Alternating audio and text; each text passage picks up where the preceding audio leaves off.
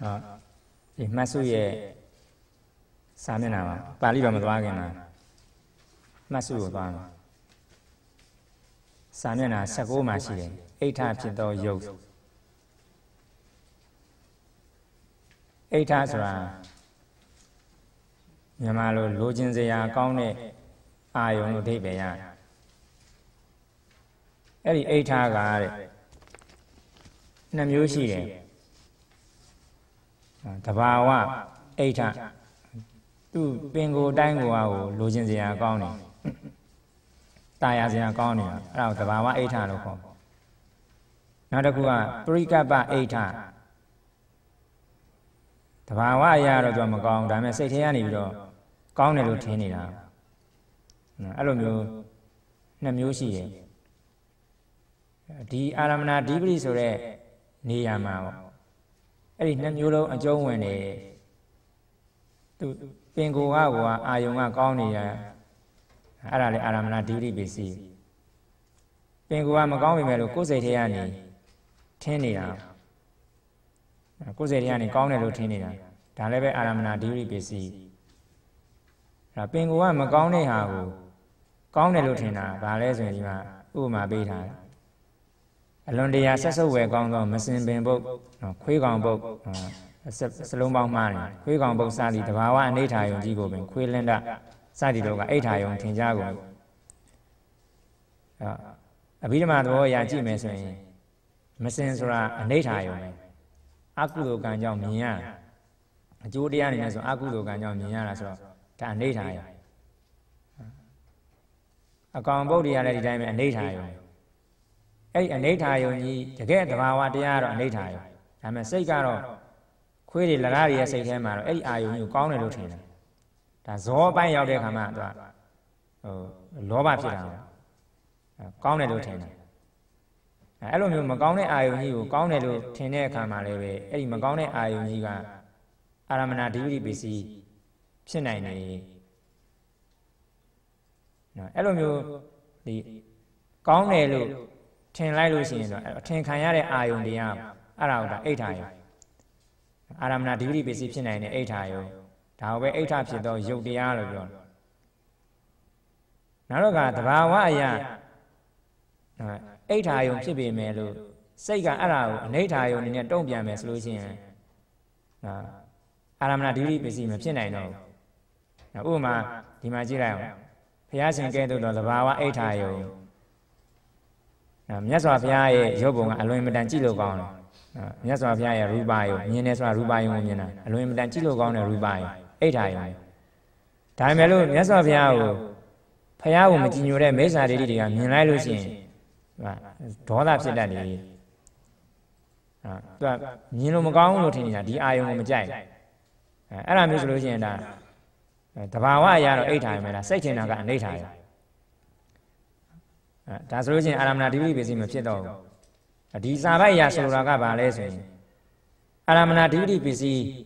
ဖြစ်ဖို့ဆိုလို့ရှိရင်အိဋ္ဌာယုံဖြစ်ရမယ်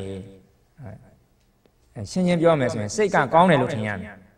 အဲ့ဒါဆိုရင်ပိုရှင်းတယ်အာယုံတရားကကောင်းခြင်းကောင်းမယ်မကောင်းခြင်းမကောင်းဘူးစိတ်ကကောင်းတယ်လို့ထင်ရမယ်အဲ့လိုမျိုးကောင်းတယ်လို့ထင်တဲ့စိတ်ကနေထင်လိုက်တဲ့အာယုံတရားကဒါအာရမဏဒိဋ္ဌိပစ္စည်း ဖြစ်တယ်အိဋ္ဌဖြစ်တဲ့ရုပ်ဆိုတဲ့စကားလုံးနဲ့ပတ်သက်ပြီးတော့နားလည်ဖို့လိုတာအခုအဓိပတိပစ္စည်းကိုသင်နေတာပေါ့အဓိပတိပစ္စည်းဆိုတဲ့နေရာမှာဒီပရမတ္ထတရား၄ပါးတွေကဘာတွေနဲ့ပတ်သက်တယ်လဲဆိုတာကိုသိဖို့လိုတယ်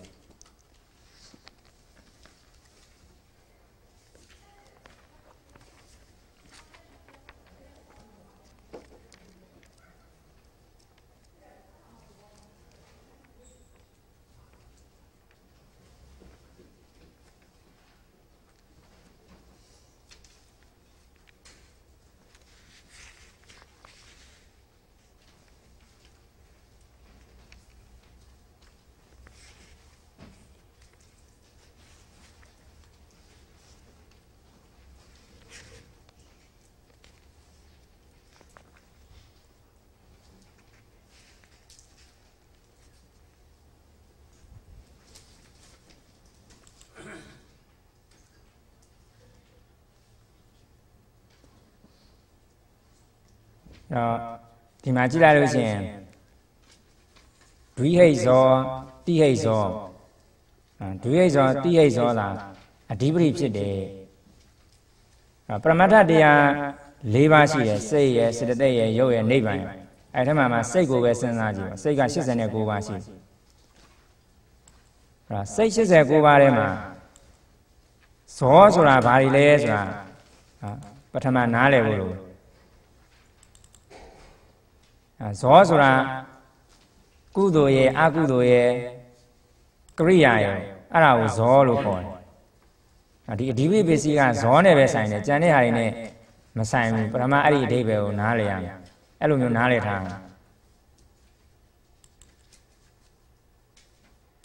အဲ့တော့ဇောဆိုတာအကုသိုလ်ဆိုတာဒီမှာအကုသိုလ်စိတ်12ပါးဟာဇောပဲနော်အကုသိုလ်စိတ်12ပါး နောက်ပြီးတော့ဒီအာယစိတ်ထဲမှာ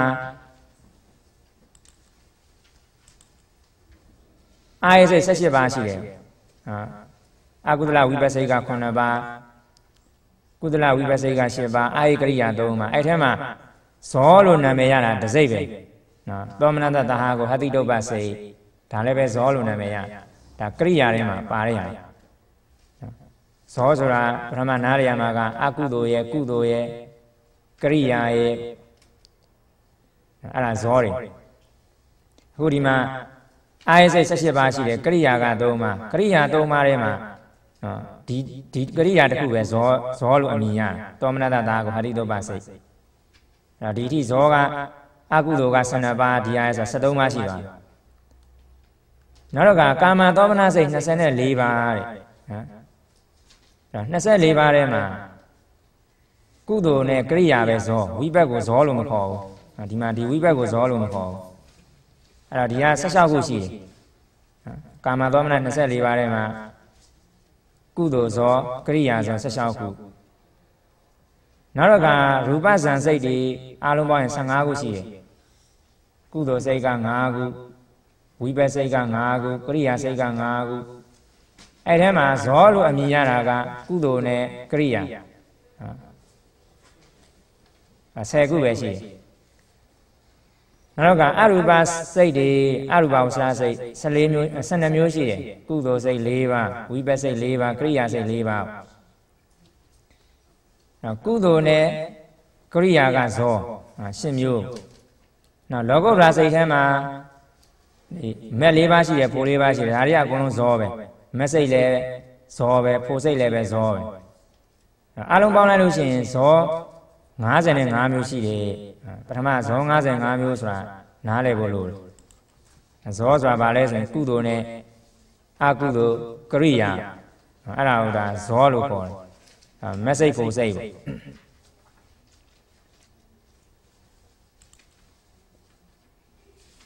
အဲအဲ့ဒီဇောထဲမှာမှနော်ဇောက55မျိုးရှိတယ်ဇောမှသူအမိထပ်ပေးလိုက်မယ် ဇောကိုဇောဒီမှာ55မျိုးအစောနာပြောတဲ့ဟာတွေပြန်ဆွဲရေးလိုက်လို့ရှိရင်ဒီမှာလောဘမှုစိတ်7ပါးဒါအကုသိုလ်စိတ်12ပါးရဲ့ဒေါသမှုစိတ်2ပါး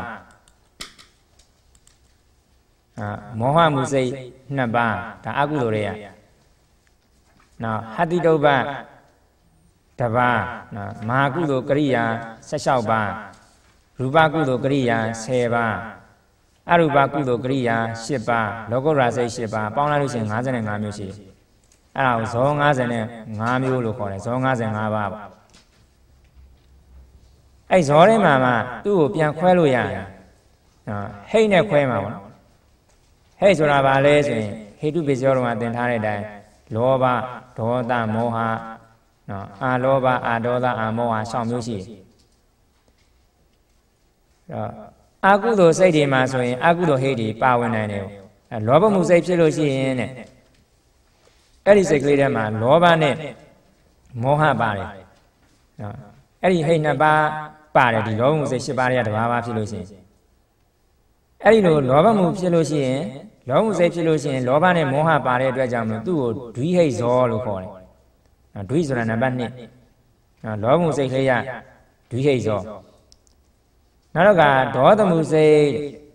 ဒေါသမှုစိတ်ဖြစ်လို့ရှိရင်လည်းသူကမောဟနဲ့ဒေါသနှစ်မျိုးပါနော်အဲ့ဒါဘာကိုပြောရလဲဆိုတော့ဒီတန်ပြောကနည်းကိုကြည့်ပြောတာ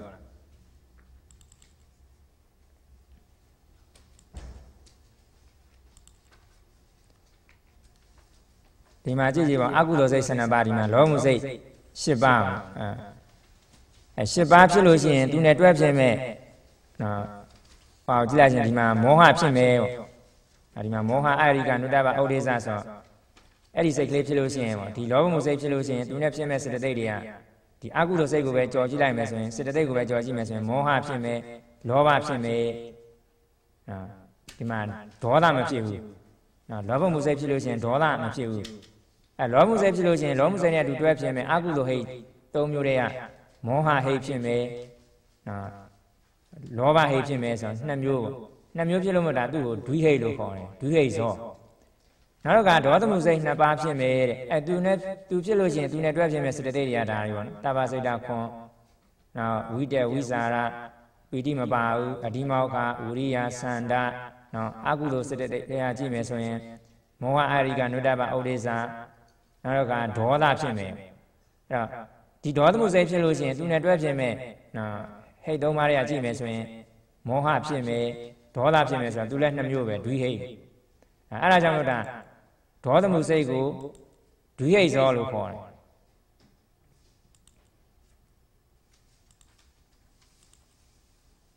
အဲဒေါသမှုစိတ်ကလည်းဒွိဟိတ်ပဲအဲဒွိဟိတ်ဇောနော်မောဟမှုစိတ်တဲ့မောဟမှုစိတ်ဖြစ်လို့ရှိရင်သူကသူနဲ့တွဲဖြစ်မဲ့စတသိက်တွေထဲမှာလောဘဒေါသမောဟသုံးမျိုးတွေကအဲ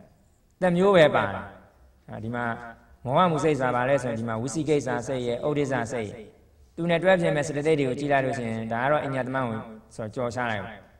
မောဟပါမယ်တဲ့ဝိသိကိစ္စဖြစ်လို့ရှိရင်မောဟအာရိကနုတ္တပဩဒိစ္စပါမယ်နောက်လောဘမပါဘူးနောက်ဒေါသလည်းမပါဘူးဆိုတော့မောလောဘဒေါသမောဟသုံးမျိုးတည်းရတမောဟတစ်မျိုးတည်းပဲပါတယ်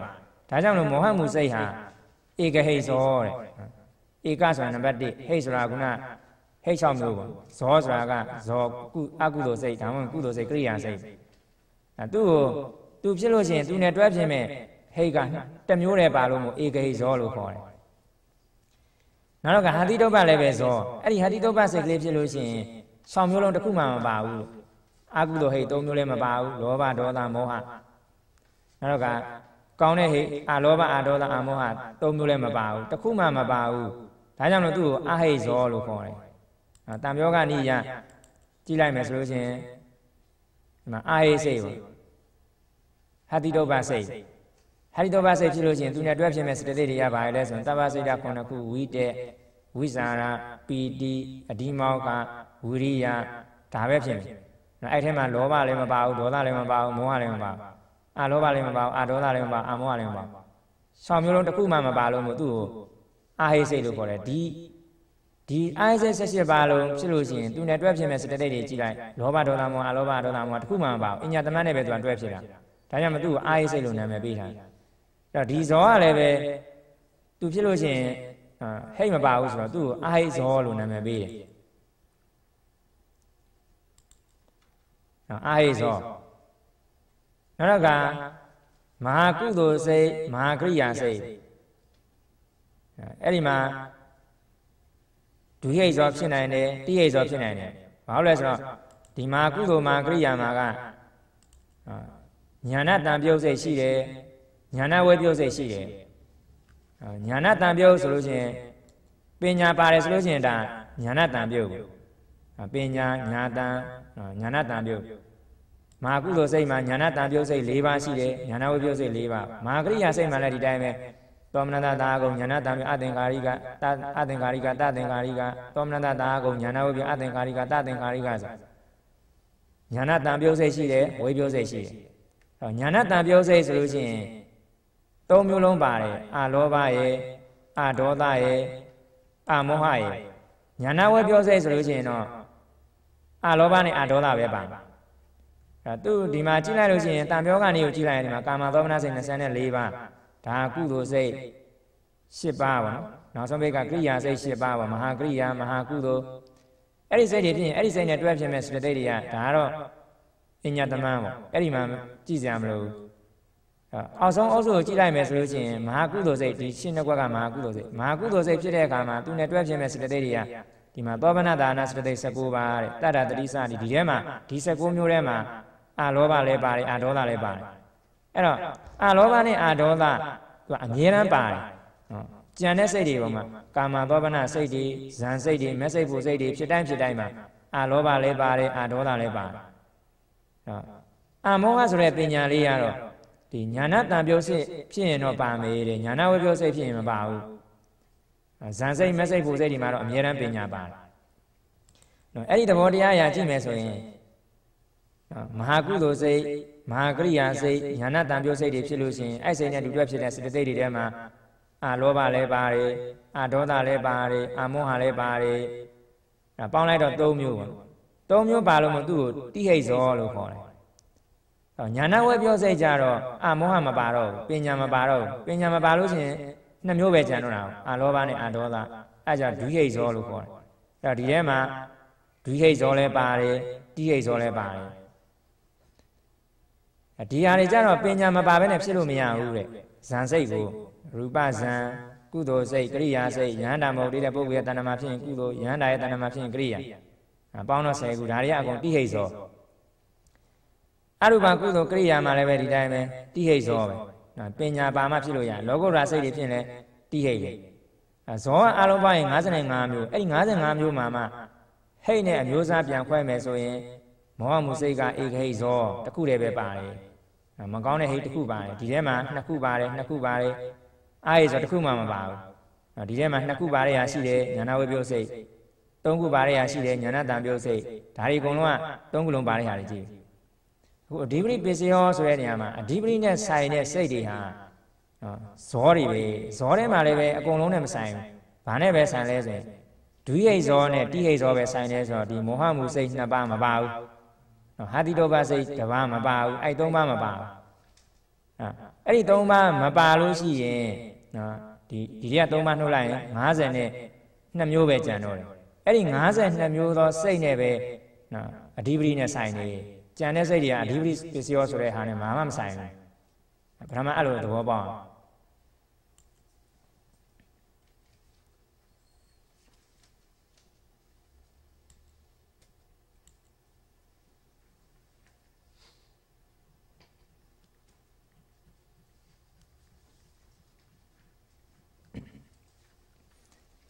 အဲ့ဒီထဲမှာမှအခု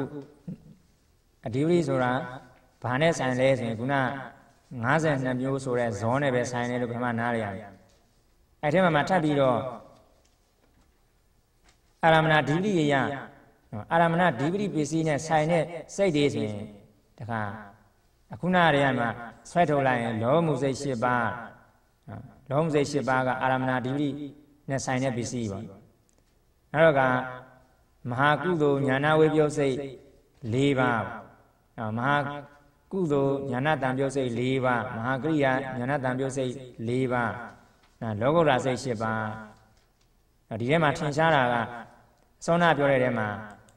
ဘာတွေမပါတော့ဘူးလဲဆိုလို့ရှိရင်ဒီမှာရူပကုသိုလ်ကရိယာအရူပကုသိုလ်ကရိယာဆိုရဲဟာဒီတခုမှမပါတော့အဲ့ဒီဇန်စိတ်ဒီမပါတော့ ဘာကြောင့်ဇန်စိတ်တွေမပါတော့တာလဲဆိုရင်အဲ့ဒီဇန်စိတ်တွေရဲ့သဘောကစာထဲမှာရှင်းပြတာတော့သူတို့ကိုမြတ်လို့မဟက်ကုတ်စိတ်လို့ခေါ်တာရူပစိတ်နဲ့အရူပစိတ်ကိုနောက်တနည်းနှစ်ခုကိုပေါင်းပြီးတော့တနည်းနာမည်ပြီးတော့မဟက်ကုတ်လို့ခေါ်ဘာကြောင့်မဟက်ကုတ်လို့ခေါ်လဲဆိုရင်မြတ်တယ်လို့အဓိပ္ပာယ်ရအဲသူတို့ကိုယ်၌ကမြင့်မြတ်တဲ့စိတ်တွေဖြစ်တဲ့အတွက် သူတို့ယူရတဲ့အာယုန်တရားပေါ်မှာလေးလေးစားစားအာယုန်မယူဘူးတဲ့အာရမဏဓိပတိပစ္စည်းအနေနဲ့မယူဘူးသူတို့သိရတဲ့အာယုန်တရားဟာအာရမဏဓိပတိပစ္စည်းမဖြစ်ဘူးဟုတ်အဲသူတို့သိရတဲ့အာယုန်တရားလည်းပဲတော်တော်များများပညာတရားတွေရူပဇန်နေဆိုလို့ရှိရင်အကုန်လုံးပညာကိုပဲအာယုန်ယူတာနော်အရူပဇန်ဆိုရင်နှစ်ခုကပညာအဲနှစ်ခုကတော့ပရမတ်ဒါကြောင့်လို့ဒီအာရမဏဓိပတိရဲ့ အကျိုးတရားအနေနဲ့ဖြစ်တဲ့နေရာမှာအာဒီမှာဒီထဲမှာဇန်စိတ်တွေမတွေ့ရဘူးနော်လောဘမှုစိတ်ဆိုတာအကုသိုလ်စိတ်နော်မဟာကုသိုလ်စိတ်ဆိုတာဒါမဟာကုသိုလ်စိတ်မဟာကုသိုလ်စိတ်မဟာကရိယာစိတ်လောကုတ္တရာစိတ်ဇန်စိတ်တွေဟာအာရမဏဓိဋ္ဌိရဲ့အကျိုးတရားအနေနဲ့မရှိနိုင်ဘူး နောက်တော့ကအကုသိုလ်စိတ်12ပါးထဲမှာလဲခုနအဓိဋ္ဌိပစ္စည်းရဆိုင်နာကဒီမှာအကုသိုလ်စိတ်12ပါးရှိတာလောဘမှုစိတ်10ပါးဒေါသမှုစိတ်2ပါးမောဟမှုစိတ်2ပါးအစရဲကွာကိုအဓိပတိနဲ့မဆိုင်တော့ဘူးတဲ့ဒီမောဟမှုစိတ်ရဲ့အတိတုပ္ပစိတ်ရဲ့ဘာကြောင့်လဲဆိုတော့ तू ဧကဟိစိတ်ဖြစ်လို့အဲ့တော့အဓိပတိနဲ့ဆိုင်တာကလောဘမှုစိတ်ဆိုင်တယ်ဒေါသမှုစိတ်ဆိုင်တယ် အဲ့ထဲမှာမှအခုအာရမဏဓိပတိပစ္စည်းအနေနဲ့ဆိုရင်ဒေါသမှုစိတ်မပါတော့ဘာကြောင့်လဲဆိုတော့ဒေါသရဲ့သဘောကဒေါသဖြစ်ပြီဆိုရင် तू သိရတဲ့အာယုံတရားကိုမကြိုက်ဘူးတော့မကြိုက်လို့မို့ तू ကဒေါသမှုဖြစ်တာဒေါသဖြစ်တာအခုဟာကအာရမဏဓိပတိရဲ့သဘောကအာ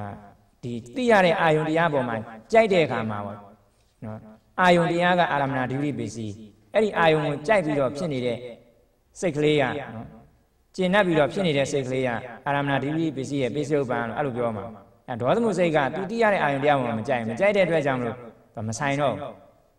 ဒီဒေါသမှုစိတ်ကအာရမဏဓိပတိပစ္စည်းရဲ့ပစ္စည်းနဲ့သက်ဆိုင်မှုမရှိတဲ့ဟာ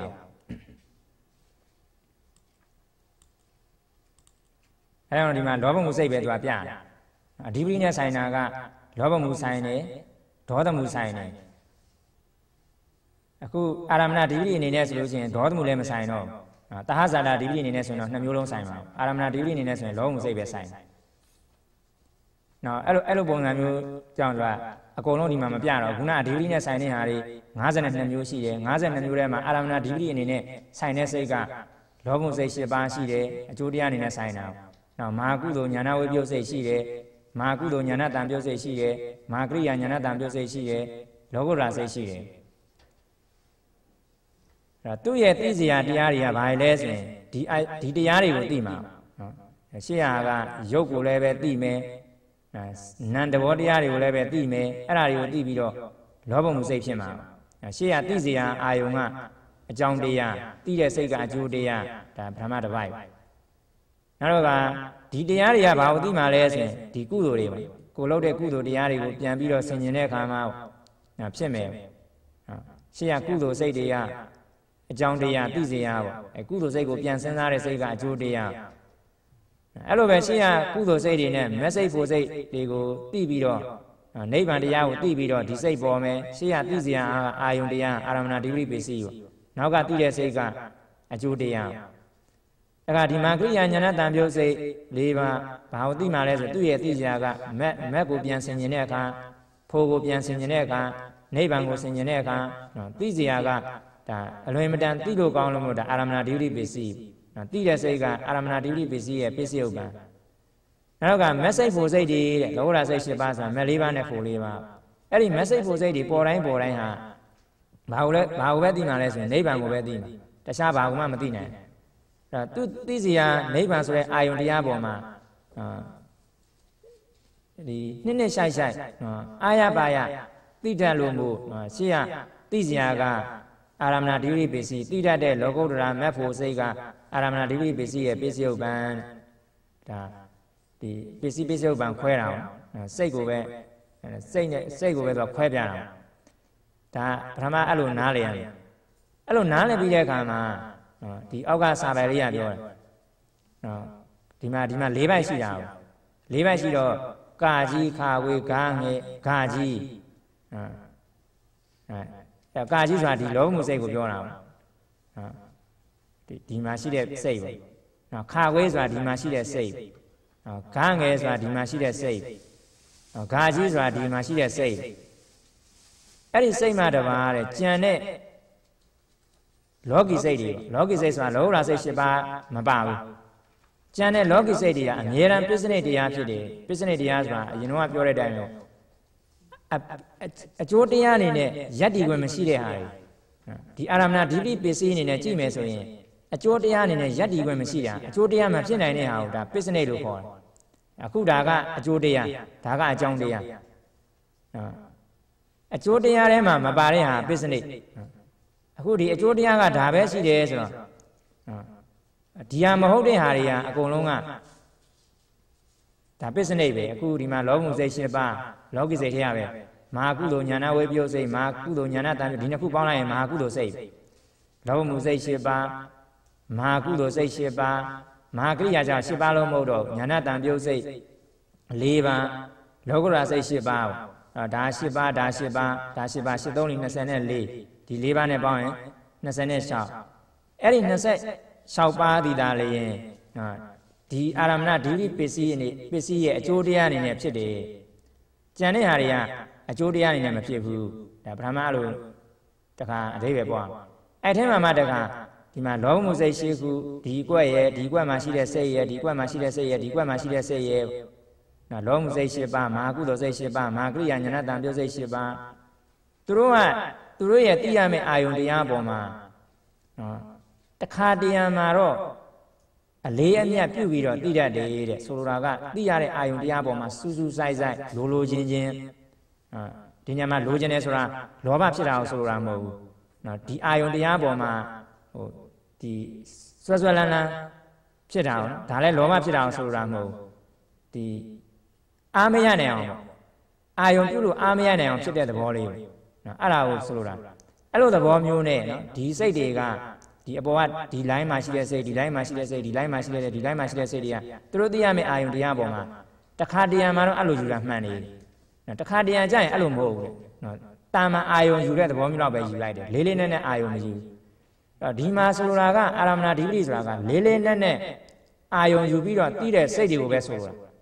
တာအဲ့သူတို့ကတခါတရံမှာလေးလေးနက်နက်အာယုံယူလို့ရှိရင်သူတို့ဟာအာရမဏဓိပတိပစ္စည်းရဲ့အကျိုးတရားလို့ပြောမယ်အဲတကယ်လို့သူတို့ကတခါတခါမှာ တာမန်လေးပဲအာယုံယူမယ်ဆိုရင်သူတို့ကအာရမဏဓိပတိပစ္စည်းရဲ့ပစ္စယုတ်ပံမဟုတ်တော့အကျိုးတရားမဟုတ်တော့ဘယ်ထဲမှာရောက်သွားမလဲဆိုရင်ပစ္စနိတ်ထဲမှာပဲဖြစ်မှာပဲဒီလောကုတ္တရာစိတ်ကတော့တဲ့အဲ့လိုမဟုတ်ဘူးတဲ့အမြဲတမ်းသူကအာရမဏဓိပတိပစ္စည်းရဲ့ပစ္စယုတ်ပံဖြစ်နိုင်တယ်လောကုတ္တရာစိတ်ဆိုတာနိဗ္ဗာန်ကိုပဲအာယုံယူတာနိဗ္ဗာန်ကိုပဲအာယုံယူတာဆိုတော့သူသိရတဲ့နိဗ္ဗာန်ဆိုတဲ့အာယုံတရားကိုဘယ်တော့မှပေါ်ဒီဘောဆာအာယုံယူတာမျိုးမရှိနိုင်ဘူး အမြဲတမ်းသူကမက်ဆေ့ဖို့စိတ်တွေကသူသိရတဲ့နိဗ္ဗာန်တရားပေါ်မှာလေးလေးနက်နက်အာယုံယူတယ်ဒါကြောင့်လောကုတ္တရာစိတ်ကတော့အမြဲတမ်းအာရမဏဒိဋ္ဌိပစ္စည်းရဲ့အကျိုးတရားဖြစ်တယ်ကြံတဲ့စိတ်တွေကတော့ဒီဒီမှာပြထားတဲ့ကြံတဲ့စိတ်တွေကတခါတရံမှာယူတယ်တခါတရံမှာမယူဘူးပေါ့ယူတဲ့အခါမှာဆိုရင်အာရမဏဒိဋ္ဌိပစ္စည်းရဲ့အကျိုးတရားဖြစ်တယ်မယူတဲ့အခါမှာဆိုရင်မဆိုင်ဘူးအာရမဏဒိဋ္ဌိပစ္စည်းနဲ့ဒီမှာပြမထားတဲ့ကြံတဲ့လောကိစိတ်တွေအကုန်လုံးကတော့အာရမဏဒိဋ္ဌိ ပစ္စည်းရဲ့အကျိုးတရားမဖြစ်ဘူးတဲ့ဒါကြောင့်မအမြဲတမ်းပစ္စနိတ်တရားတွေဖြစ်တယ်ပစ္စနိတ်ဆိုတာအကျိုးတရားတွေမှာမနေရတဲ့တရားတွေ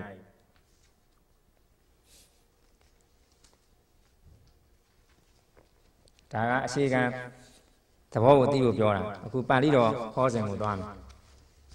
စာမျက်နှာ136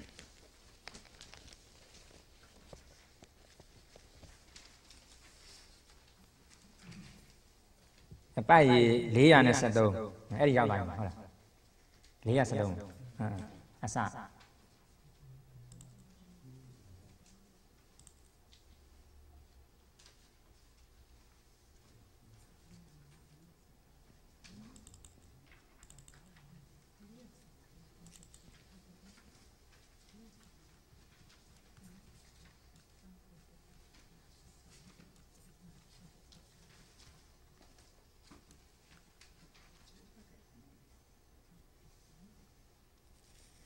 အဲကြည့်လိုက်မယ်ဆိုရင်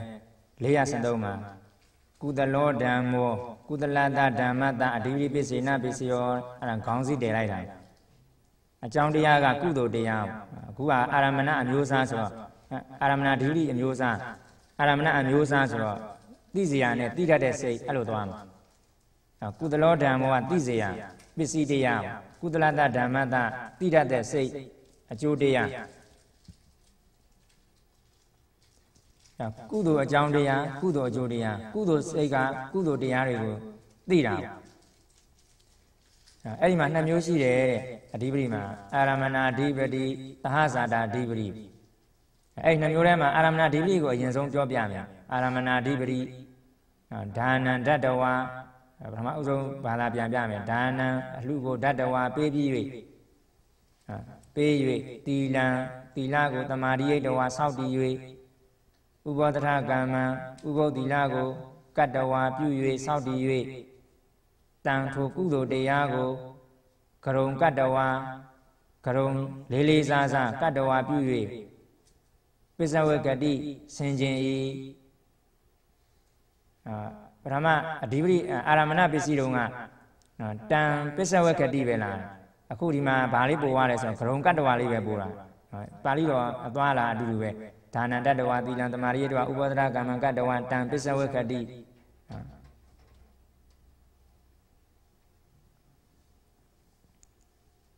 အဲကုသိုလ်တရားကို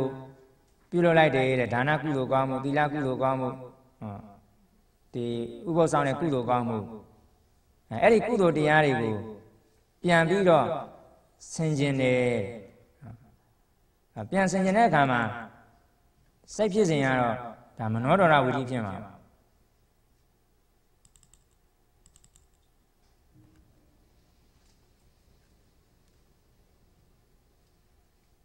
ဟာမနောဒွါရထဲမှာဒီထဲမှာဖြစ်နိုင်တဲ့စိတ်တွေအများကြီးပေါ့အာယုံ၆ပါးဆိုတော့စိတ်စတသိက်ရုပ်အကုန်ဖြစ်လို့ရအောင်အာယုံ၆ပါးအခုအဓိပတိဆိုတော့ ဒီဒီနေရာအဆက်ကလေးမှာပဲကြည့်ရမှာဇောအဆက်မှာပဲကြည့်ရမှာအစောနာပြောတယ်မှာအဓိပတိဆိုတာဇောနဲ့ပဲဆိုင်နေဆိုဇောနေရာနဲ့ပဲသူကပြောမှာတခြားနေရာတွေနဲ့ဆက်ဆက်ပြမှာမဟုတ်ဒီမှာစဉ်းစားစရာအာယုံ၆ပါးဆိုအာယုံ၆ပါးထဲမှာအကုန်ပါတယ်လို့နားလည်ထားရမယ်ပိစုပန်အတိတ်နာကကာလဝိမုတ်ဖြစ်သောအာယုံ၆ပါးကာလဝိမုတ်ဆိုတာနိဗ္ဗာန်လည်းပါတယ်ပညာလည်းပါတယ်ကာလဝိမုတ်ဆိုတာနိဗ္ဗာန်နဲ့ပညာကိုပြောတာပိစုပန်အတိတ်နာကလို့ပြောလို့ရတာတွေကစိတ်စေတသိက်ရုပ်တရားတွေအဲ့ဒါတွေက အဲပိစုပန်လောလောဆယ်ပေါ်နေပိစုပန်ပေါ်ပြီးပျောက်သွားတဲ့ဟာဆိုအတိတ်နောက်မှပေါ်မဲ့ဟာဆိုအနာဂတ်ပေါ့အဲ့ဒီဟာအကုန်လုံးပေါင်းလိုက်လို့ရှိရင်ဒါအာယုံဆောင်မျိုးလုံးဖြစ်နိုင်တယ်အခုဒီမှာကုသိုလ်ကနေကုသိုလ်ကိုအာယုံယူမှာဆိုတော့ဒီနေရာမှာစဉ်းစားစရာကကုသိုလ်လို့သဘောပေါက်ထားတာဒီနေရာမှာဗာလဲဆိုရင်ကုသိုလ်ကုသိုလ်စိတ်ကလေးဒါနပြုတဲ့အခါမှာကုသိုလ်စိတ်ကလေးပေါ်သွားတယ် ငါးပါးသီလစောင့်တည်တဲ့အခါမှာကုသိုလ်စိတ်ကလေးပေါ်သွားတယ်အဲ့ဒီကုသိုလ်စိတ်ကလေးကိုပြန်ပြီးတော့ဆင်ញင်တဲ့အခါမှာစိတ်ဆင်ရဒီမှာမနောဒရဝိဇ္ဇံဖြစ်မယ်ဖြစ်ပြီးတဲ့ကုသိုလ်တရားကိုအစအဆုံးပြန်ဆင်ញင်တဲ့စိတ်ကလေးပေါ့ပြီးတဲ့အခါမှာကုသိုလ်စိတ်ဖြစ်မယ်ပေါ့မဟာကုသိုလ်စိတ်မဟာကုသိုလ်စိတ်၈ပါးဖြစ်နိုင်တယ်အဲ့ဒါလေးကိုပြောတာဒါနံတတ္တဝါသီလံတမာတိယိတဝါဥပောဒရကမ္မကတ္တဝါ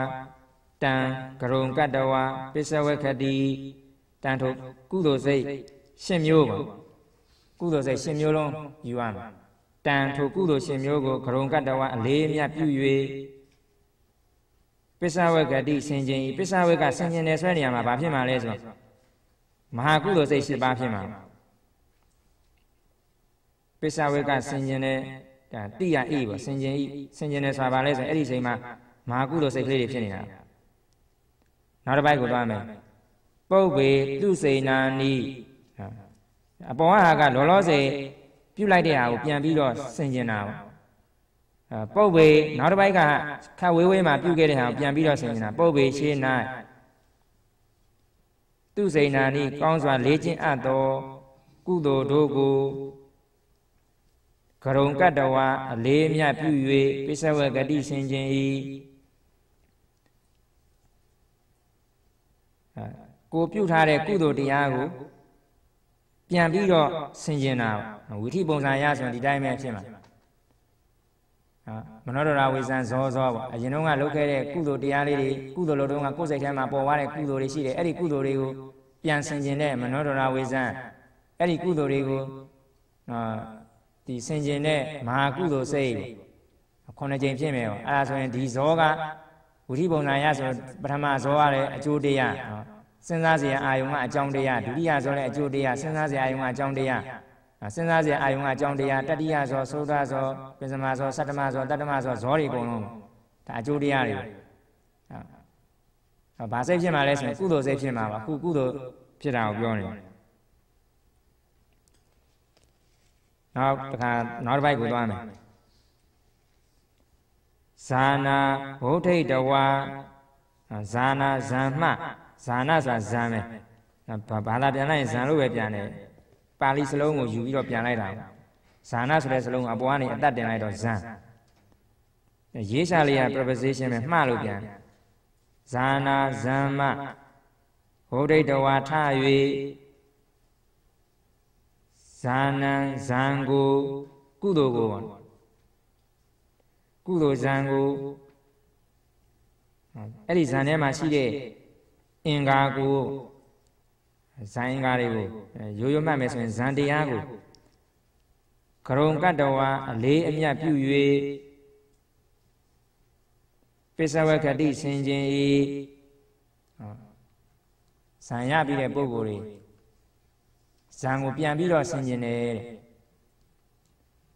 ရထားတဲ့ဇံကကုသိုလ်ဇံပါအဲ့ဒီကုသိုလ်ဇံကိုပြန်ပြီးတော့ဆင်ခြင်းတာ ဒီမှာကြည့်လိုက်ပါဒါဝိထိပုံစံရဆိုရင်ဇာနာပစ္စဝေခဏဝိထိဇံရပြီးရင်ဇံကိုပြန်ပြီးတော့ဆင်ခြင်းတယ်အတိတ်ဖြစ်သောဝိတက်ဝိဇာရပီတိဒုက္ခဧကကတာဧကဥပိ္ပခာဧကကတာဝိတက်ကိုဆင်ញနာရှိမယ်အစိတ်အစိတ်ပါဝိဇာရကိုဆင်ញနာရှိမယ်ပီတိကိုဆင်ញနာရှိမယ်ဒုက္ခကိုဆင်ញနာရှိမယ် ဥပိ္ပခာကိုဆင်ញနာရှိမယ်ဧကကတာကိုဆင်ញနာရှိမယ်ဒါမှမဟုတ်၅ခုအပေါင်းကိုဆင်ញနာရှိမယ်အဲ့လိုမျိုးအစိတ်အစိတ်ကိုဆင်ញင်မယ်အပေါင်းကိုဆင်ញင်မယ်ဘယ်လိုပဲဖြစ်ဖြစ်ဒါကုသိုလ်ဇံကိုပြန်ပြီးတော့ဆင်ញင်တာအဲ့ဆင်ញင်စရာစဉ်းစားစရာကကုသိုလ်တရားတွေဆင်ញင်တဲ့စိတ်စဉ်းစားတဲ့စိတ်ကလည်းကုသိုလ်ပဲအဲအဲ့လိုမျိုး ဇံရပြီးတဲ့ပုဂ္ဂိုလ်ကဇံအကြောင်းကိုပြန်စဉ်းစားတဲ့အခါမှာဇာနာပါဠိတော်ဟောစဉ်ရပြောတော့ဇာနာဟောဒိတဝဇာနံကရုံကတ္တဝပစ္စဝခတိဇာနာဇမ္မဟောဒိတဝထ၍ဇာနံဇံကုသိုလ်ကိုကရုံကတ္တဝအလေးမြပြု၍ပစ္စဝကတိဆင်ခြင်းဤပစ္စဝကတိဆင်ခြင်းနဲ့ဆွဲညာမှာမဟာကုသိုလ်စိတ်ဖြစ်တာစဉ်းစားစရာကဇံကုသိုလ် စဉ်းစားတဲ့စိတ်ကမဟာကုသိုလ်စိတ်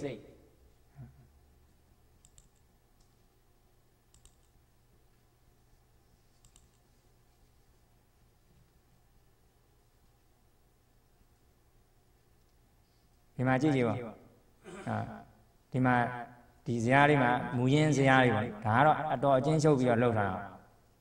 အဲမဟာကုသိုလ်စိတ်ညာနာဝိပယုတ်စိတ်မဟာကုသိုလ်ညာနာတန်ပြုတ်စိတ်ပေါင်းလိုက်လို့ရှိရင်မဟာကုသိုလ်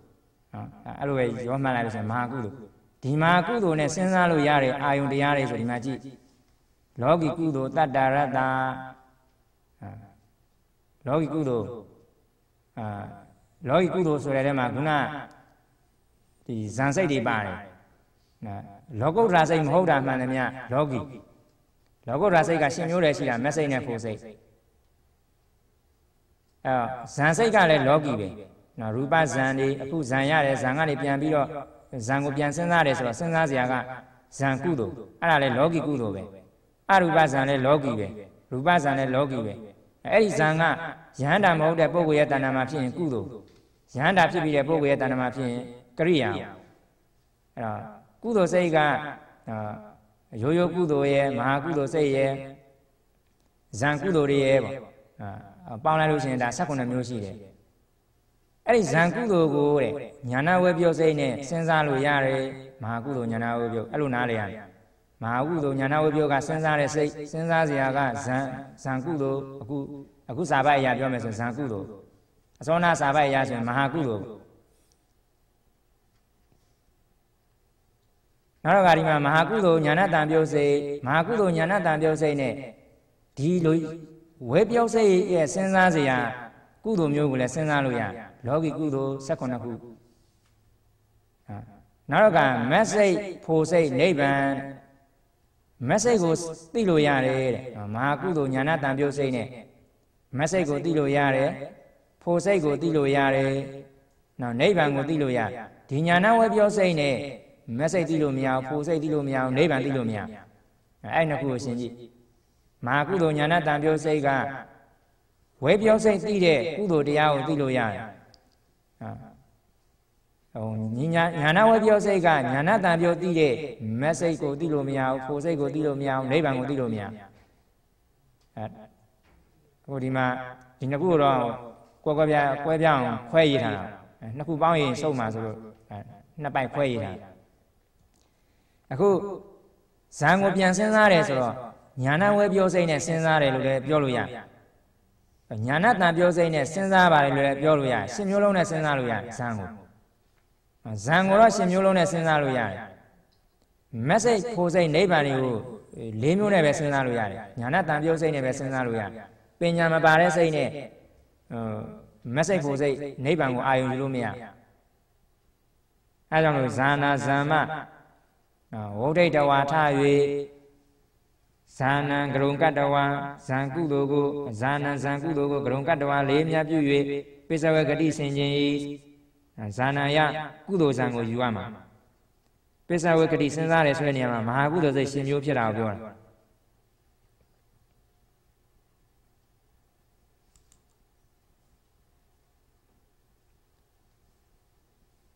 နောက်တစ်ပိုက်ကိုသွားမယ်တိခါ နော်တိခါဆိုတာသောတာပန်တက္ကရာကအနာကယဟန္တာမဟုတ်သေးတဲ့ပုဂ္ဂိုလ်နော်ဒီရေးရှာလေးက preposition ပဲနော်သူက subject ကိုညွှန်ပြတာတိခါတို့ဒီအများကိန်း plural ဂုတ္တရဘုံဂုတ္တရဘုကို ဂေါတရပုဆိုတာဘာလဲဆိုရင်အတိအကျပြန်မယ်ဆိုရင်ဂေါတရပုလို့နာမည်ရတဲ့မဟာကုသိုလ်ညာဏတံပြုတ်စိတ်ဂေါတရပုဆိုတာလေးကဘာလဲဆိုရင်မဟာကုသိုလ်စိတ်ဒါဒါစဉ်းစားစရာပဲဒါဂေါတရပုကိုဒါ object ကရုံကတ္တဝါလေးမြပြု၍ဒါက adverb ပုံစံမျိုး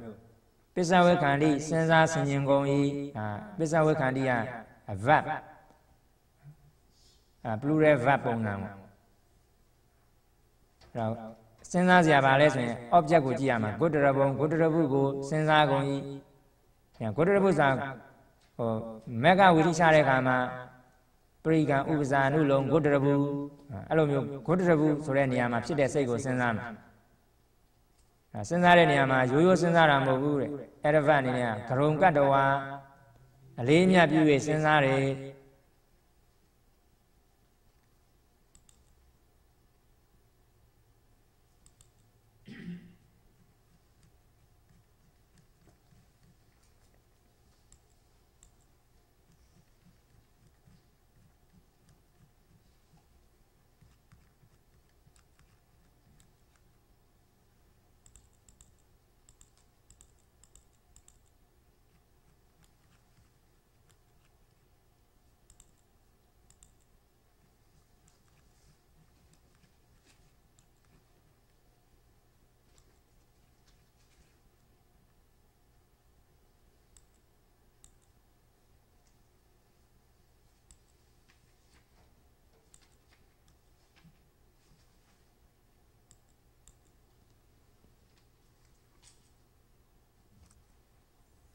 နော် ပုံစံနေနဲ့ဆိုရင်တော့ဒီပုံစံဖြစ်မှာကောတရပုစိတ်ကိုပြန်စဉ်းစားရဲဆို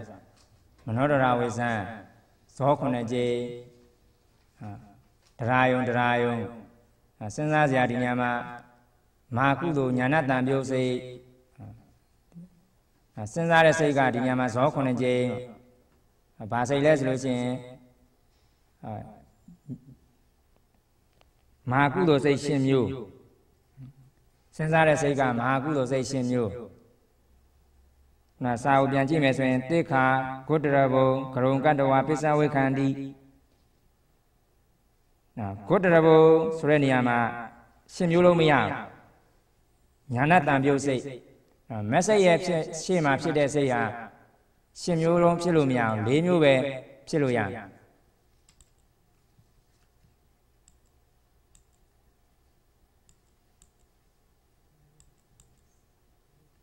ဒီမှာမနောဒရဝိဇံသောတာပတ္တိ message ဖြစ်မယ်။ message ဖြစ်ရင်ဒီပုံစံနဲ့ဖြစ်မှာမနောဒရဝိဇံပရိကံဥပဇာနုလုံဂုတ္တရဟု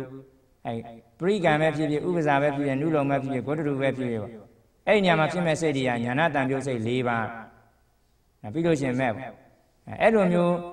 စိတ်ကလေးပေါ်သွားပြီးလို့ရှိရင်အဲ့ဒီဂုတ္တရဘူးအလုတ်ကိုလှုပ်သွားတဲ့ဒီမာကုသိုလ်စိတ်ကိုပြန်စဉ်းစားတာ။အစောနာကတော့ရိုးရိုးဒါနကုသိုလ်ကောင်းမှုပြုတယ်မာကုသိုလ်စိတ်ဖြစ်တယ်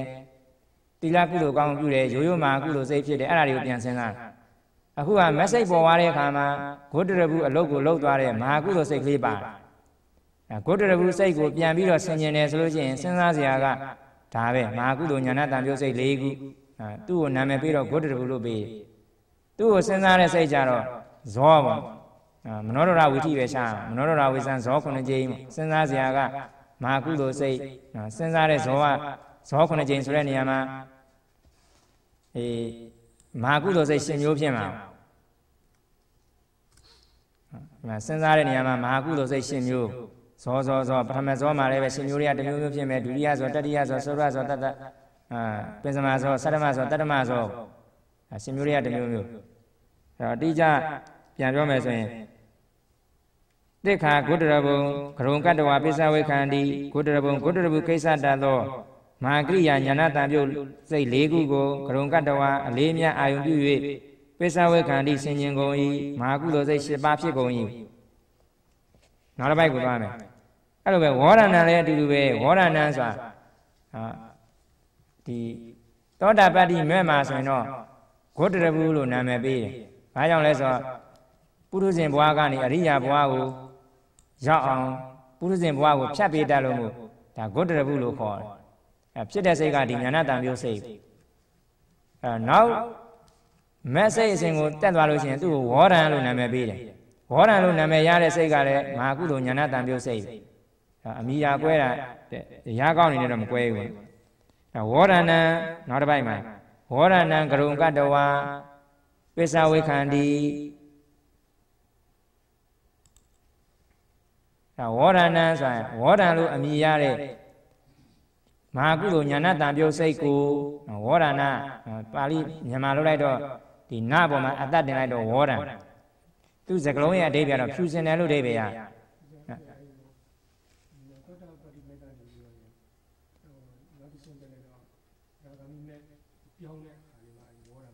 ဟုတ်တယ်အဲ့အဲ့တက္ကရာဂမိမဲ့ကိုပြောင်းတဲ့ခါဝေါတယ်နောက်တစ်ဆင့်လဲဝေါတယ်ဖြူစင်တယ်ဆိုတော့ပို့ပြီးတော့ကိလေသာရော့ရော့သွားတော့ဖြူစင်တယ်လို့ပြောလို့ရတယ်ဝေါတယ်ဝေါတယ် အဲ့ဝေါတယ်ဆိုတဲ့နေရာမှာစိတ်ဖြစ်စဉ်အရာပြောမယ်ဆိုရင်မဟာကုသိုလ်ညာဏတံပြောစိတ်ဖြစ်တာအဲအဲ့ဒီဝေါတယ်ဆိုတဲ့အလုပ်ကိုလုပ်တဲ့မဟာကုသိုလ်စိတ်ကိုဂရုံကတ္တဝါအလေးမြတ်ပြု၍ပိဿဝခန္တိဆင်ញင်ကုန်၏ပိဿဝကဆင်ញင်တဲ့နေရာမှာတော့ရှင်းမျိုးလုံးဖြစ်လို့ရတယ်ညာနာတန်ပြုတ်စိတ်လည်းဖြစ်လို့ရတယ်ညာနာဝိပြုတ်စိတ်လည်းဖြစ်လို့ရတယ်သောနာပြောတဲ့အတိုင်းမဟာကုသိုလ်စိတ်ရှင်မျိုးကလောကီကုသိုလ်18မျိုးကိုအာယုံယူလို့ရ ဟုတ်ဒါလောကီကုသိုလ်ပဲဟောရဏံဆိုတာလောကီကုသိုလ်ပဲဟာသူမဟာကုသိုလ်ဆိုတော့လောကီကုသိုလ်နောက်တစ်ပတ်ကိုသွားမယ်တိခာမေကဗုဒ္ဓိတဝါမေကံကရုံကတ္တဝါပစ္စဝေခန္တီတိခာတိခာတို့သည်သောတာပန်တက္ကရာကနာဂံတို့သည်မေကံမက်မဗုဒ္ဓိတဝါထ၍ ဗုဒ္ဓဆိုတာထတယ်လို့အိဗေယတွာလေးကရွေလို့ပါလားပြန်မက်မထ၍မက်မထတယ်ဆိုတာမက်ဝီထိဆုံးသွားတယ်လို့ပြောတာဖလားသမဘကထားရဲဆိုတာလေဖလားသမဘဝီထိရက်သွားတာကိုပြောတာဖိုစိတ်တွေရက်သွားတာကိုပြောတာမက်မထားရဲဆိုရင်မက်စိတ်အစဉ်လေးရက်သွားတာကိုပြောတာမက်စိတ်အစဉ်ရက်ပြီးတဲ့အခါကျတော့မှမက်ကံမက်ကို ကရုံကတ္တဝါလေးမြတ်ပြု၍ပစ္စဝေခန္တိစဉ်းစားဆင်ခြင်ကုန်၏ဟောရှေ့ဆုံးကတိခါဆိုတာက subject ဟိုနောက်ဆုံးဘက်ကပစ္စဝေခန္တိက verb object ကမက်ကံစဉ်းစားစရာကဒါမက်ကံအဲ့မက်ကံရဒီအောက်မဲ့၃မျိုးကိုယူရမှာဘာဘာလို့လဲဆိုတော့သူကဒီနေရာမှာတိခါကိုပြောနေယ ဟန္တာကစဉ်းစားမယ်ဆိုရင်သူကကရိယာဖြစ်ပြီခုကကုသိုလ်ကြောင့်ကုသိုလ်ဖြစ်တယ်ကိုပြောတာတိစရာကကုသိုလ်တိတဲ့စိတ်ကလည်းကုသိုလ်အဲ့လိုပုံစံနဲ့ပြောတာဆိုတော့မက်ကရယဟန္တာမက်ကိုမယူအောင်အောက်ကမက်၃ခုပါသောတာပတ္တိမဲ့တက္ကရာဂာမိမဲ့အနာဂာမိမဲ့အောက်မဲ့၃ခုကိုပိဿဝေခန္တိဆင်ញင်ကုန်၏အဲပိဿဝေခန္တိနေရာမှာကျတော့ညာဏတံပြောစိတ်ကိုပဲယူရမယ်အသောနာဇရာတိုင်း ဟိုညာဏဝေပြောစိတ်နဲ့မက်စိတ်ကိုလှမ်းပြီးတော့ကြည့်လို့မရ ညာနာတံပြုတ်စိတ်နဲ့ပဲ message ကိုယူလို့ရအဲ့တော့ပစ္စဝေခန္တီဆင်ញင်ကုန်ဤဘာစိတ်ဖြစ်တာလဲဆိုရင်ညာနာတံပြုတ်စိတ်၄ပါးမာကုသိုလ်ညာနာတံပြုတ်စိတ်ယဟန္တာကဆင်ញင်တာဆိုတော့မာကရိယာညာနာတံပြုတ်စိတ်ဖြစ်မှာအခုကသိက္ခာရိယဆင်ញင်တာသောတာပန်ကဆင်ញင်တယ်သောတာပတ္တိမက်ကိုဆင်ញင်မှာတက္ကရာကဆင်ញင်တက္ကရာဂိမက်ကိုဆင်ញင်မယ် အနာဂံကဆင်ញင်အနာဂါမိမက်ကိုဆင်ញင်မယ်ဆင်ញင်စရာမက်ကအာယုန်တရားဆင်ញင်တဲ့မဟာကုသိုလ်ညာနာတံပြုတ်စိတ်၄ပါးရတပါးပါးကဇောခုနှစ်ကြိမ်အနေနဲ့ဖြစ်မယ်ဟာပထမဇောဒုတိယဇောတတိယဇောသုရဇောပင်စမဇောတတမဇောပထမဇောကအကျိုးတရားနော်အဲဇောရဲ့သိစရာအာယုံမက်ကအကြောင်းတရားနော်မက်ကအကြောင်းတရားဒုတိယဇောအကျိုးတရားမက်ကအကြောင်းတရားတတိယဇောအကျိုးတရားအဲ့လိုမျိုးဖြစ်သွားတာလေဟုတ်လားစာလို့ပြောတဲ့ခါကျတော့နော် သိခာမေကဝုဒိတဝမေကံကရုံကတ္တဝပိစဝေခန္တီအာရမဏဓိပတိအနေနဲ့ဆိုရင်တော့အဲဒီကုသိုလ်ကြောင့်ကုသိုလ်ဖြစ်တဲ့ဆွဲနေရာမှာဒီလောက်နဲ့ပြီးသွားတယ်ရိုးရိုးအာရမဏတုန်းကတော့အဓိပတိသဘောမျိုးမဟုတ်ဘူးအာရမဏသဘောမျိုးနဲ့ဆိုရင်ဒီတဲ့ပုံများတာပေါ့မဟကုစိတ်ဒီမှာဥမာအဲဇန်စိတ်တွေဖြစ်လို့ရှိရင်သူ့ရဲ့သိစရာအာယုံရှိတယ်ဒါတွေလည်းအာရမဏပဲအခုဒီမှာ ဇန်စိတ်တွေရဲ့သဘောမှာအာရမဏဓိပတိမရှိတော့အဲ့ဒါတွေမပါတော့ဘူးအဲကုသိုလ်ကြောင့်ကုသိုလ်ဖြစ်တာနောက်တစ်ပိုက်ကိုသွားမယ်အဲတဟဇာတာဒီလိကိုကြော်လိုက်ပြီးမှတဟဇာတာဒီလိပြန်သွားမယ်အချင်းကျုပ်အိဗေကနှစ်ခုကွဲနေတော့တခါတည်းပြောရင်မျက်စိရှုပ်သွားတယ်အာရမဏဒီလိအရင်သွားမယ်ပြီးတော့မှတဟဇာတာဒီလိပြန်ကောင်းဟိုနောက်တစ်ပိုက်ကိုသွားမယ်အပိုက်414 ကုသလောဓမ္မောအကုသလတာဓမ္မတာအဓိပရိပိစေနပိစယောတိစရာကကုသိုလ်အကုသလတဓမ္မတာတဲ့တိမဲ့တရားကအကုသိုလ်ကုသိုလ်စိတ်ကိုအကုသိုလ်စိတ်နဲ့တိမယ်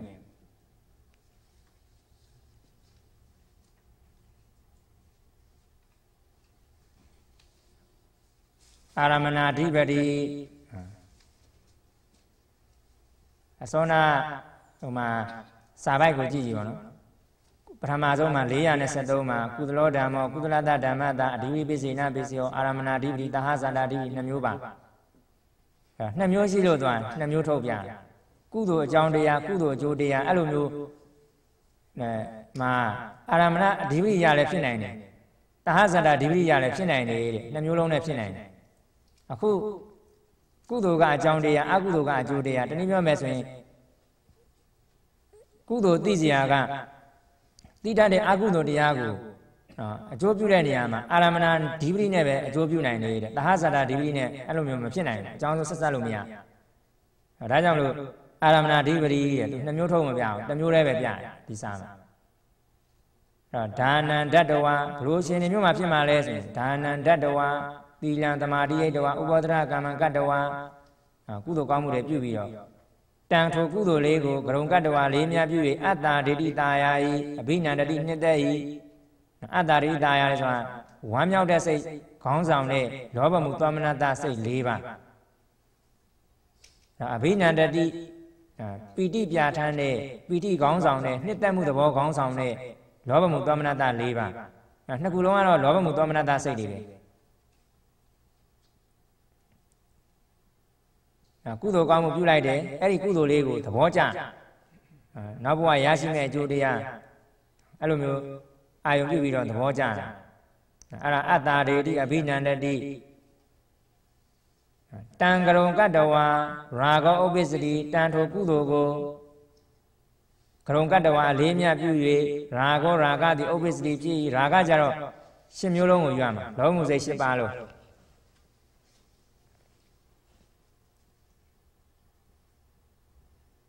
ဇာကကြတော့ဟိုတက်မှတ်မှုပြဋ္ဌာန်းတဲ့စိတ်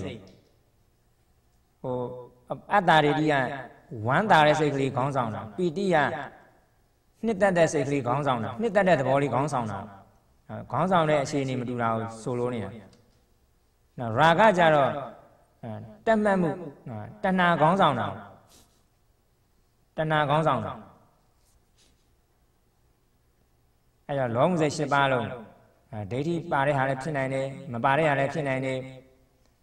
နောက်တစ်ပိုက်ကျတော့ဒိဋ္ဌိဥပ္ပစ္စတိတဲ့အယူအယူလွဲမှားတဲ့အခါမှာဖြစ်တာဒါကြတော့ဒိဋ္ဌိကတတံပြုတ်စိတ်ကိုပဲယူရမှာဒိဋ္ဌိဥပ္ပစ္စတိဒိဋ္ဌိကတံပြုတ်စိတ်၄မျိုးဖြစ်၏တော့ဒိဋ္ဌိအယူမှားမှုသည်ဥပ္ပစ္စတိဖြစ်၏ဒိဋ္ဌိဥပ္ပစ္စတိပေါင်းပြီးပါလားပြန်အယူမှားတဲ့သဘောဖြစ်တယ်ငါလို့ဆွဲလာနာတဲ့ဒါမှားရွံ့တာနော်အဲ့ဒီအပေါ်မှာ တခြားနည်းနဲ့မှားမယ်ဆိုလဲဒါမှားတာလေအယူအဆအရာမှားတယ်ဆိုလဲဒါဒိဋ္ဌိဥပ္ပစ္စတိ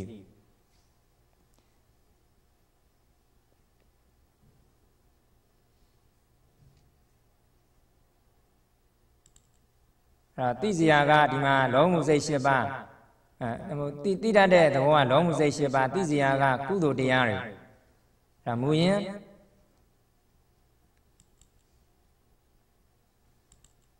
မူရင်စရာမှာကြည့်လိုက်လို့ရှိရင်ဒီမှာကြည့်လိုက်အောင်လောမှုစိတ်၈ပါးရှိတယ်တဲ့ဒါအကျိုးတရားပါအာရမဏဒိဋ္ဌိပစ္စည်းရဲ့အကျိုးတရားသူအလေးမြတ်အာယုံပြုနိုင်တဲ့တရားတွေကဘာလဲဆိုဒီမှာဒါယုတ်တရားအနေနဲ့အိဋ္ဌနိဗ္ဗာန်ယုတ်ဒါယုတ်တရားအနေနဲ့ပြောတာအဲအိဋ္ဌနိဗ္ဗာန်ယုတ်ဆိုတာတခြားမဟုတ်ဘူးထင်ရှားတဲ့ဟာနဲ့ပြောမယ်ဆိုရင်မြင်စေရာရူပါယုံကြားစေရာတတ္တာယုံအတန်နေပေါ့ နော်အယုတ်တွေအတန်တွေအနတ်တွေအဲ့ဒါတွေကအိဋ္ဌဖြစ်တော့နိဗ္ဗာန်ယုတ်နောက်တော့ကဒေါသမှုစိတ်မောဟမှုစိတ်ဒုက္ခတာကိုကာယဝိညာဉ်ချင်းဒီကနှစ်စိတ်ဒီကနှစ်စိတ်ဒီကစိတ်ပေါင်းလိုက်လို့ရှိရင်၅စိတ်အဲ့ဒီ၅စိတ်မဟုတ်တဲ့လောကီစိတ်86ခုအဲလောကီစိတ်86ခုထဲမှာခုနမဟာကုသိုလ်စိတ်ပါအခုကုသိုလ်ကောင်းမှုပြုလိုက်တယ်အဲ့ဒီကုသိုလ်ကောင်းမှု တွေကိုလောဘမှုစိတ်နဲ့ပြန်ပြီးတော့သိတယ်ကုသိုလ်ကောင်းမှုဆိုတဲ့ခုနမဟာကုသိုလ်စိတ်တွေကဒီ86ခုဆိုတဲ့ခဏန်းထဲမှာပါတယ်အကျုံးဝင်တယ်အဲသိစရာကမဟာကုသိုလ်စိတ်တိတတ်တဲ့စိတ်ကလောဘမှုစိတ်အဲ့ဒီလောဘမှုစိတ်ကဒီကုသိုလ်စိတ်ကိုပြန်ပြီးတော့အာယုံယူတဲ့အခါမှာကရုံကတ္တဝါတဲ့အလေးအမြတ်အာယုံပြုတယ်အာယပါယအာယုံယူတယ်အာယပါယသိတယ်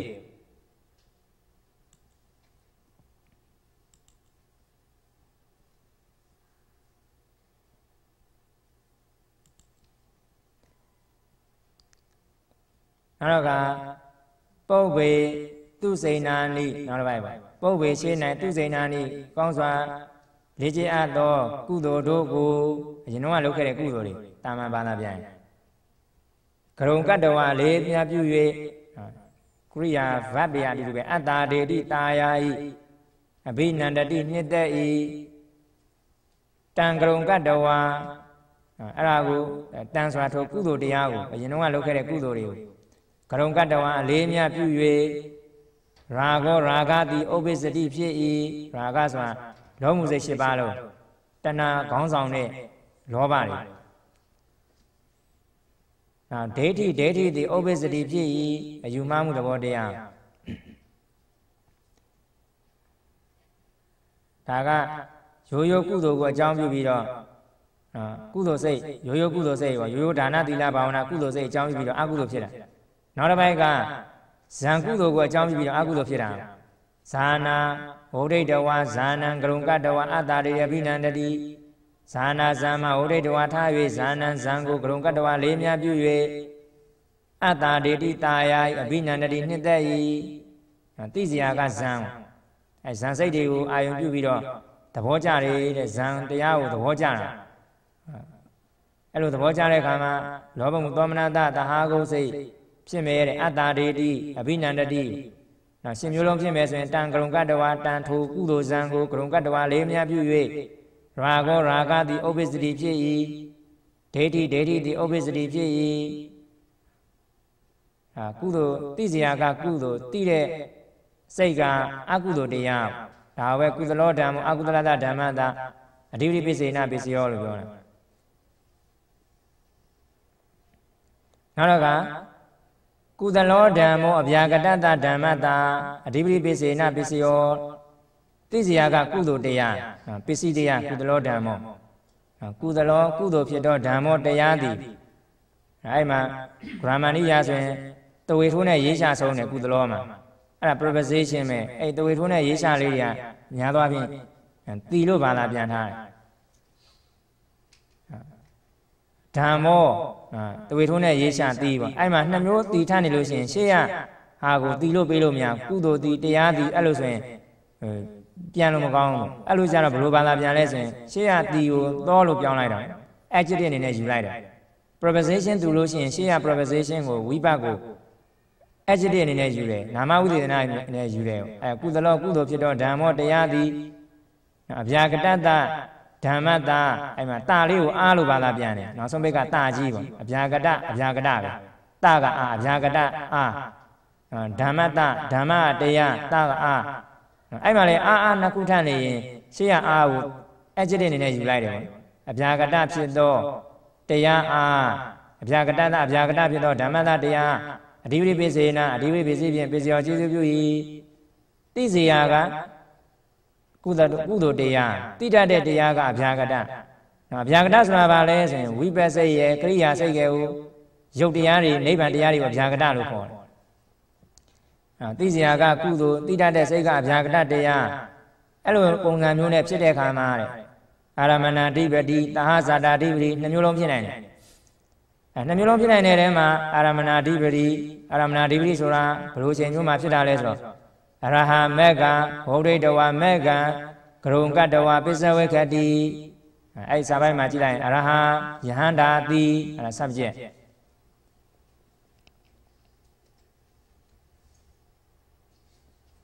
မေကမေမယဟန္တာမေဆိုရထမေပေါ့ရထမေစိတ်ပေါ်တယ်ပေါ့မေကဝီထိကြတယ်မေကမေမဝုဒိတဝါထ၍ မေကမေကုရထမေကုကရုံကတဝါလေးမြပြု၍ပိစဝကတိစဉ်းစားဆင်ခြင်၏ရဟာ subject ပေါ့ပိစဝကတိက verb ဟိုအလေကမက်ကံစာကံပုတ် object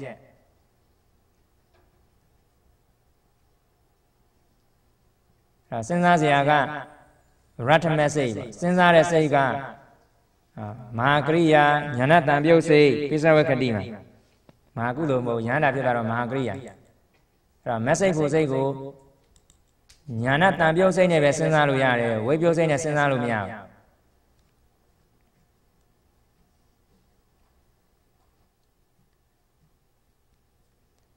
အဲဘယ်လိုပုံစံနဲ့ဖြစ်မလဲဆိုဝိထိပုံစံရဆိုရင်အာယဟန္တာကရထမစိတ်ပေါ်သွားပြီပေါ့ပေါ်တဲ့ပုံစံတော့ဒီပုံစံတိုင်းပါ မနောဒရဝိဇံပရိကဥပဇာနုလုံးဝေါရံမက်ဒီနေရာမှာရထမစိတ်ပေါ်မယ်ပြီးရင်ရထဘူရထဘူ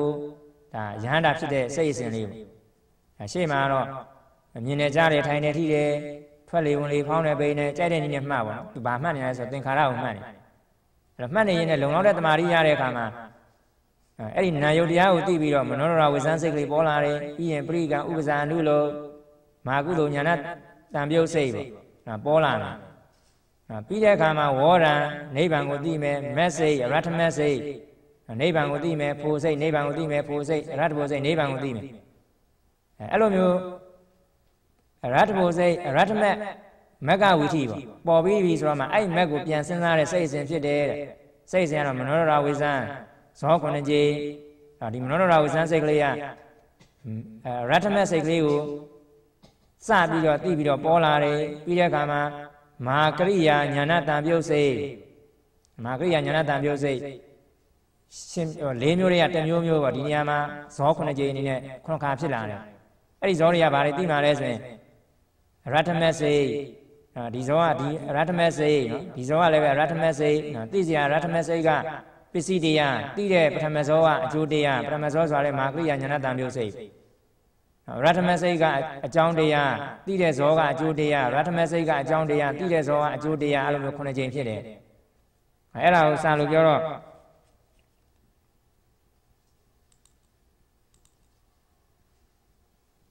အရဟံမေကဗုဒ္ဓတဝမေကံကရုံကတဝပစ္စဝေခတိအရာယံတာဒီမက်ကမက်မဟိုရိတဝါထ၍မက်ကမက်ကိုကရုံကတဝါလေးမြတ်ပြု၍ပစ္စဝကတိဆင်ခြင်း၏ အခုသင်ပြီးတဲ့စာပိုက်တွေကိုပြန်ဖတ်လိုက်ဒီပရိပိစေဝစာကုသလောဓမ္မော400စတုံးကကုသလောဓမ္မောကုသလတာဓမ္မတာအဓိပတိပိစေနာပိစေယောအာရမဏာဓိပတိသဟဇာတာဓိပတိအာရမဏာဓိပတိဒါနံတတဝါသီလံသမာဓိယိတဝါဥပောတထာကမ္မံကတ္တဝါ တံကရုံကတ္တဝါပစ္စဝေခတိကောဝေသူစိဏာနိကရုံကတ္တဝါပစ္စဝေခတိဇာနာဥဒိတဝါဇာနံကရုံကတ္တဝါပစ္စဝေခတိတေခာဂုတ္တရဘောကရုံကတ္တဝါပစ္စဝေခန္တိဝောဒါနံကရုံကတ္တဝါပစ္စဝေခန္တိ သေခာမေဃဝုဒိတဝါမေဃကရုံကတ္တဝါပစ္စဝေခန္တိနောက်တစ်ပိုက်ပါကုသလောဓမ္မောအကုသလတာဓမ္မတာအဓိပတိပစ္စေနာပစ္စယောအာရမဏာဓိပရိဒါနံတတဝါသီလံသမာဓိယိတဝါဥဘောဒရကမ္မံကတဝါတံကရုံကတဝါ အတာဒေတိအဘိနန္တတိတံကရုံကတဝါရာဂောဥပိစတိဒေတိဥပိစတိကိုဝေသူစိဏာနိကရုံကတဝါအတာဒေတိအဘိနန္တတိတံကရုံကတဝါရာဂောဥပိစတိဒေတိဥပိစတိအနံဝုဒိတဝါဇာနံကရုံကတဝါ အတ္တာဒေတိအဘိနန္တတိတံကရုံကတဝါရာဂောဥပိစတိဒိဋ္ဌိဥပိစတိကုသလောဓမ္မောအဗျာကတတဓမ္မတာအဓိပတိပစ္စေနာပစ္စယောအာရမဏာဓိပတိသဟဇာတာဓိပတိအာရမဏာဓိပတိအရဟမေကဝုဒိတဝါ မေကံကရုံကတဝါပစ္စဝကတိသာ